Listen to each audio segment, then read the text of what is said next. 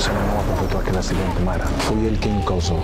Nem o Antônio Lucenas queria isso, não, pai. Um dia você vai pagar por tudo o que fez. Depois das acusações, as ameaças já terminou. Ainda não. Mas eu já. Quando isto acabar, só um de nós é que fica de pé. Ninguém vai ficar de pé. A única mulher. Hoje à noite, na TVI.